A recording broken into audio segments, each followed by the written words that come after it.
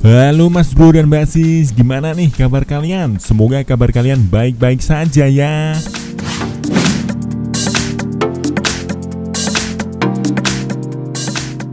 Brazil adalah negara yang selalu melahirkan pemain-pemain bola berbakat. Pemain-pemain muda asal Brazil pun selalu mendapat sorotan yang positif. Aksi-aksi brilian para pemain muda Brazil di atas lapangan hijau membuat klub-klub Eropa melirik mereka. Hingga pada akhirnya terdapat cukup banyak pemain yang direkrut oleh klub di Eropa dengan biaya tinggi. Nah, kali ini Tidur di Hutan mau membahas 7 pemain Brazil U23 dengan nilai transfer tertinggi.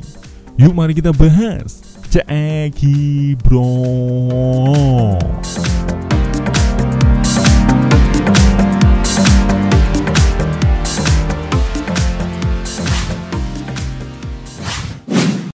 Number 7.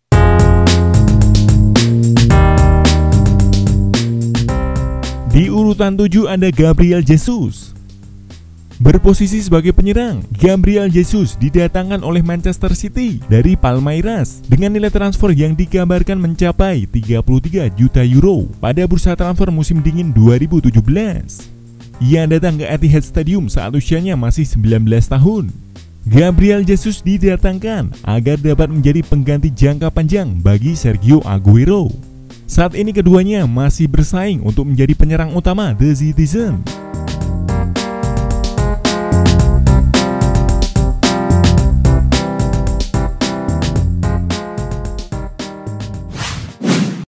Number 6.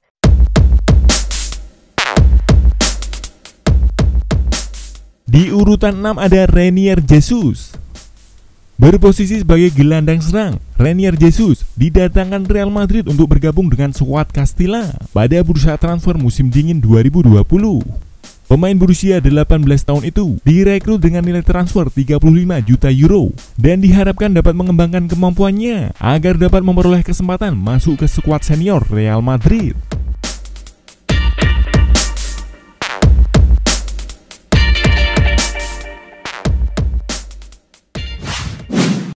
Number 5.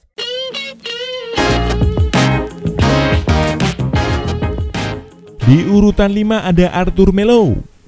Berposisi sebagai gelandang, Arthur Melo didatangkan Barcelona pada bursa transfer musim panas 2018 dengan nilai transfer 40 juta euro dari Gremio.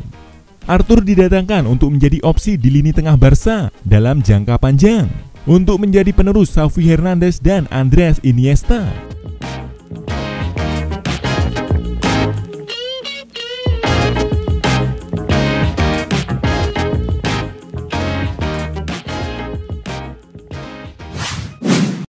Number 4.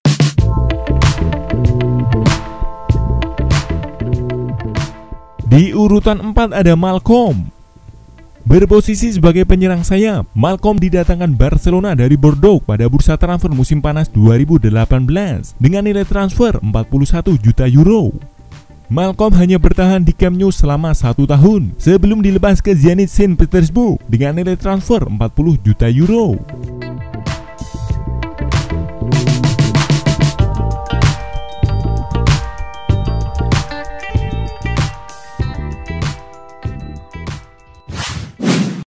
Number 3.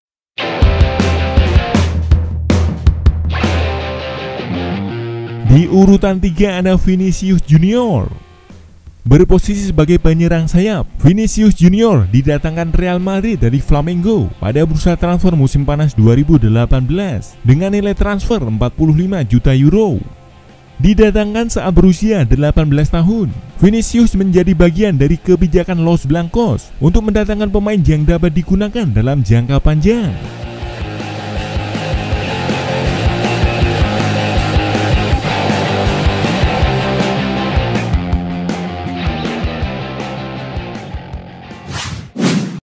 Number 2.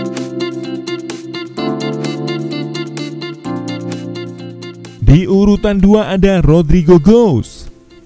Berposisi sebagai penyerang sayap, Rodrigo Gos didatangkan Real Madrid dari Santos pada bursa transfer musim panas 2018 dengan nilai transfer sebesar 45 juta euro. Rodrigo juga menjadi bagian dari kebijakan rekrutmen jangka panjang Los Blancos yang berlangsung dalam beberapa tahun terakhir.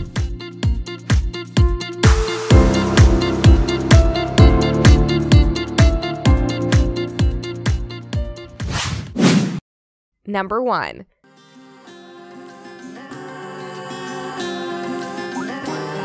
Dan di urutan pertama ada Rikalisson. Berposisi sebagai gelandang serang, Rikalisson didatangkan Everton dari Watford pada bursa transfer musim panas 2018 dengan nilai transfer yang mencapai 60 juta euro. Rikalisson menjadi bagian dari investasi besar The Toffees untuk masuk ke papan atas Liga Inggris.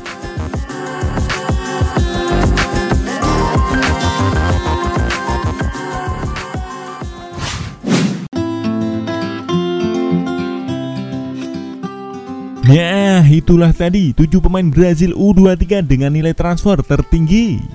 Terima kasih ya telah menyaksikan video ini. Semoga video ini bermanfaat untuk kalian semua. Dan jangan lupa untuk dukung terus channel Tidur di Hutan dengan subscribe, like, dan komen. Dan selamat tidur di hutan.